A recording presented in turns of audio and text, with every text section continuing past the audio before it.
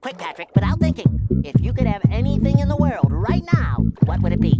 Uh, more time for thinking. Something you would pay for. A chocolate bar? That's a great idea, Pat. Good afternoon, sir. Could we interest you in some chocolate? Chocolate? Did you say chocolate?